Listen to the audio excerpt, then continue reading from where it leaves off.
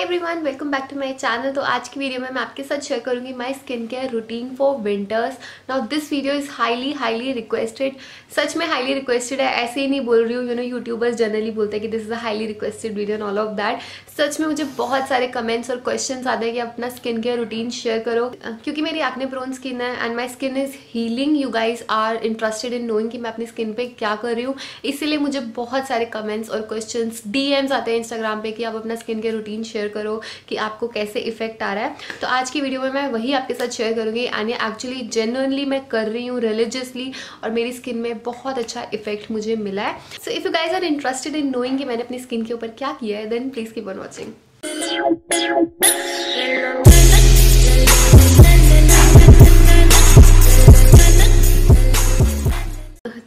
skin care की बात करें, सबसे पहला स्टेप होता है अपनी स्किन को अच्छे से क्लीन रखना, बहुत आपके डेड स्किन को निकाल देना और जो भी पोर्स आपके क्लॉक कर रहे हैं, जिसकी वजह से एक्ने होते हैं, उनको रिमूव कर देना। स्किन क्लीन रखना बहुत इंपॉर्टेंट होता है एंड फेस को ओवर क्लीन भी नहीं करना होता है कि स्किन क्लीन के चक्कर में हम दिन में फोर फाइव टाइम्स अपना फेस वॉश कर देते हैं, बिल्कुल भी नहीं डॉक्टर्स रिकमेंड करते हैं ये चीज़, बस दो बार ही आपको अपने फेस को क्लीन रखना है विच इज़ सफिशियंट तो फेस को क्लीन रखने के लिए सबसे पहले आई मेक श्योर कि मेरे फेस के ऊपर कोई भी मेकअप का कतरा भी नहीं है क्योंकि मेकअप जो होता है वो कहीं ना कहीं स्किन को इफ़ेक्ट करता ही है अगर आपकी स्किन के ऊपर वो बैठा हुआ है। So to clean my face पहले मैं अपना मेकअप रिमूव करती हूँ with a makeup remover and then I use this this is the amaze this is the life changer for me honestly you guys this is a very good face wash this is by wow skin science और ये उपटन का face wash now we all know कि जब लड़की की शादी होती है यू you नो know, हम उपटन अप्लाई करते हैं ताकि उसकी फेस स्किन अच्छी हो जाए फेस पे ग्लो आए वो that is for a reason मैं इस ब्रांड के ऊपर ट्रस्ट करती हूँ because this is no parabens no sulphate no S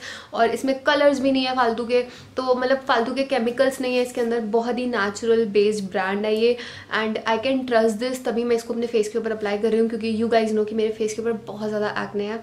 And I do trust this brand और इसके जो इंग्रेडिएंट्स हैं that is chickpea flour turmeric saffron almond extracts rose water and sandalwood oil तो ये सारे इंग्रेडिएंट्स जो होते हैं वो स्किन को ग्लो देने के लिए हेल्पफुल होते हैं। स्किन के एक्नेस को और बैक्टीरिया को किल करने के लिए बहुत हेल्प करते हैं। इसमें टर्मरिक है सैंडलवुड है जो कि बैक्टीरिया को किल करता है जिससे कि एक्ने और ज़्यादा नहीं पनपते हैं।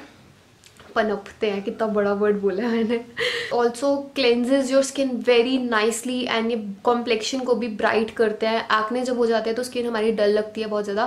तो ये कॉम्प्लेक्शन को ब्राइट करते हैं। जब भी हम मैं इससे अपना फेस वॉश करती हूँ फ़र्स्ट ऑफ़ ऑल जो वॉश करने का प्रोसेस होता है, मैं एक मिनट तक फेस को क्लेंज करती हूँ, ताकि जो इसके इंग्रेडिएंट्स हैं एक्चुअली मेरी स्किन के अंदर पेनिट्रेट हो जाए और मुझे इसका प्रॉपर हंड्रेड परसेंट इफ़ेक्ट मिले। I really want make sure कि मेरे फेस के ऊपर कोई भी डर्ट या ग्राइम नहीं बचे। ऑनेस्टली ये वाला फेस वॉश बहुत ही जेंटल है but it also makes sure कि आपकी स्किन के ऊपर कोई भी डर्ट या ग्राइम या मेकअप का प्रोडक्ट लेफ़्ट ओवर नहीं है। लाइक like, जेंटल होने के साथ साथ ही अपना काम भी अच्छे से कर रहा है। एंड थ्री हंड्रेड रुपीज़ में आपको इतनी अच्छी क्वालिटी का फेस वॉश मिल रहा है और इसकी क्वांटिटी भी काफ़ी ज़्यादा है। हंड्रेड एम की पैकेजिंग है which I think is a very good price point so that's I really love this one और इसके साथ ही I also like to scrub my face क्योंकि यू नो पोर्स क्लॉग हो जाते हैं, अगर हम मेकअप अप्लाई कर रहे हैं या नॉर्मली भी ऑयल अगर आ रहा है स्किन के ऊपर तो पोर जो होते हैं वो क्लॉग हो जाते हैं, जिसकी वजह से ब्लैकेट्स बन जाते हैं और पिम्पल्स बन जाते हैं। तो उसको मैं वीक में two times I make sure कि मैं अपना फेस को स्क्रब करूँ अच्छे से। तो उसके लिए मैं इस सेम रेंज का ही ये स्क्रब यूज़ करती हूँ। This is also by wow और ये सेम ही रेंज है उनकी। Ubtan face and body scrub इसको आप बॉडी पे भी अप्लाई कर सकते हो। I love using this scrub तो ये स्क्रब बहुत ही जेंटल है, बहुत ही माइल्ड है। ये अपना काम बहुत अच्छे से करता है और स्किन को हाइड्रेट भी रखता है। कई स्क्रब्स होते हैं जो बिल्कुल स्किन को रिप ऑफ़ कर देते हैं। ऐसे लगता है आपकी स्किन की लेयर ही उतर गई है। बट ये जेंटल है और इसका क्रीमी टेक्सचर है तो ये स्किन को हाइड्रेट भी करता है अच्छे से। सो आई मेक श्योर कि मैं दो मिनट तक एटलीस्ट अपनी स्किन को स्क्रब करूँ। ना क्योंकि मेरी एक्ने प्रोन स्किन है, मैं ज़्यादा स्क्रब नहीं करती हूँ। This is how it looks like first of all मुझे तो इसकी पैकेजिंग बड़ी अच्छी लगती है। ये यू नो वाओ की पैकेजिंग बहुत अच्छी है। And this is the actual product और ये बहुत ही बड़ा टब है। ये बहुत ईजीली बहुत टाइम तक चल जाएगा फॉर श्योर एंड अच्छी खासी क्वांटिटी में आता है ये, पूरा फिल है. And the price for the scrub is three ninety nine for two hundred M L which I think is very good क्योंकि इसमें बहुत अच्छी क्वांटिटी मिल रही है. जो प्राइसेज है वो परचेज लिंक है इन प्रोडक्ट्स के.